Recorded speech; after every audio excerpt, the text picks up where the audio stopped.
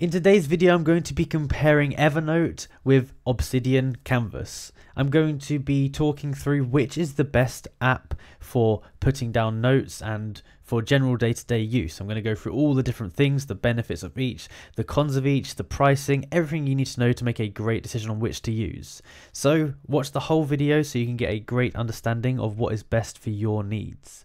Let's get right into it. So first things first, we need to quickly talk about pricing because this is potentially something you might look at.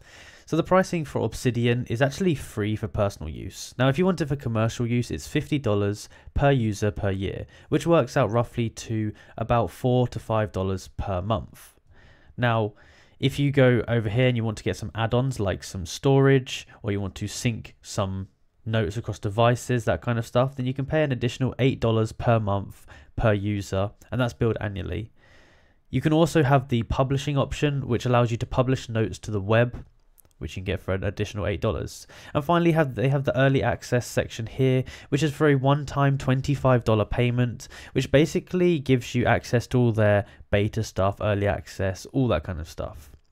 But for the base space use, you're just to need the free plan. I use the free plan, um, and I've never needed to buy anything extra. Now, if we go over here onto the Evernote page, I'll show you the pricing.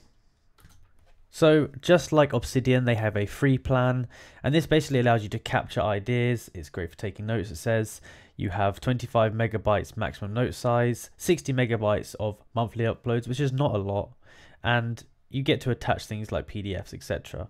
Now, for 667 a month, you get a lot more um, uploads, you get 10 gigabytes, you get 200 megabyte max. So you're probably going to need this if you're going to be uploading files and such. And then you can go to the professional plan if you need to. They also have the Teams plan, but if you want to look more in depth, you can go here. So they both have a free plan, but I would say the Obsidian free plan is a lot more, um, you know, has a lot more features involved with it. So let's get into the features of each of the different softwares. So I'm going to start off with Obsidian. So I've actually made a few videos on Obsidian and here is from one of the videos I made. To start off with Obsidian we can go up to the top and we can create a new canvas. So a canvas is basically like this workspace here and you're able to drag in these little blocks here and inside these blocks you can type into it so I could put block 1 info xyz you know I can type whatever I want into it I can change the color of the box. You know, I can change it over here if I want to. I can create another box over here. We can say block two idea. What we can do here is we can double tap that, you see, and that will make the box go to the size of the text.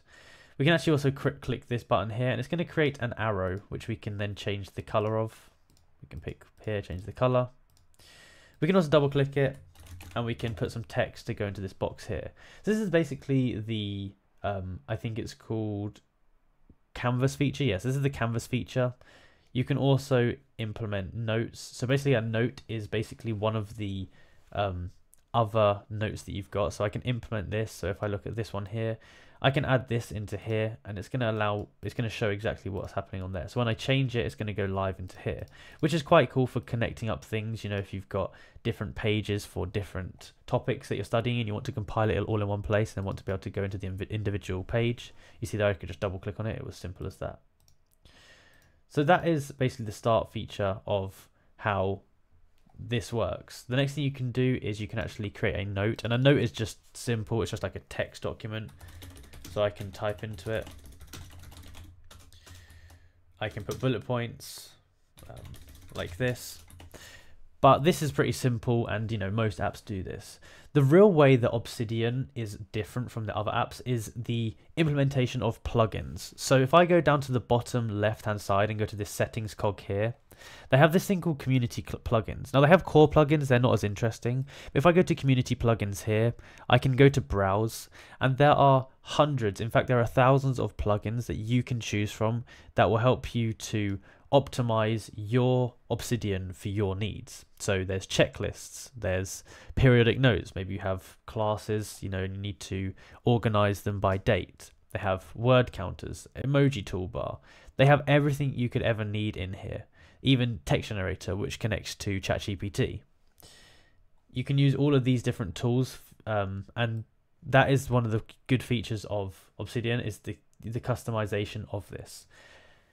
If I close this now, I've already got a few of them installed. So I've got this one called Excalidraw, and I'll show you how it works. If I go into it here by clicking on new drawing, it's like a souped up paint, I guess you could call it. It gives you some really cool features. So I can add a box here, and it has some really nice. It has really nice look to it. So I can put facts about X topic, and you can see here, it's it's really nice. It looks great. It's it's it's good on the eyes. You know, it makes things look interesting.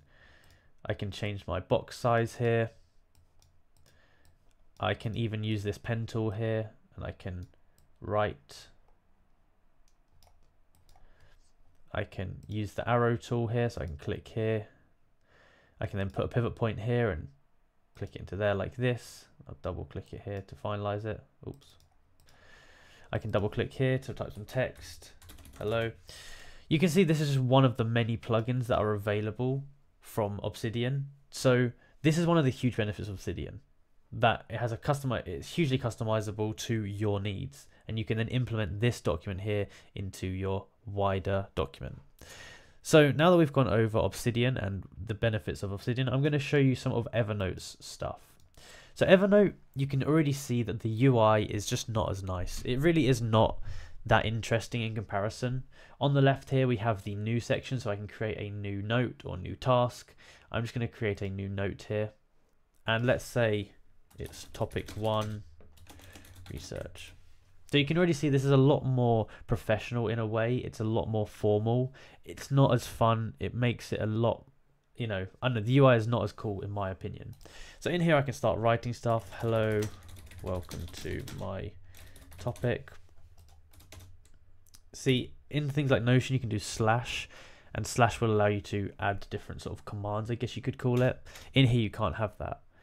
So if I delete this here, it gives me some um, template suggestions. So if I want a to-do list, I can add that. If I want a reading list, daily reflection, if I click add more, there's a ton of different ones I can add here. I can also open the gallery and the gallery basically is just a list of different templates you can use. So it has things like calendars, agendas. It's pretty good for, you know, there's a lot of pre-organized things here. So if you have some kind of business, then this could be good for it. If you have a you know, um, a sales pipeline, for example, we could put that in here.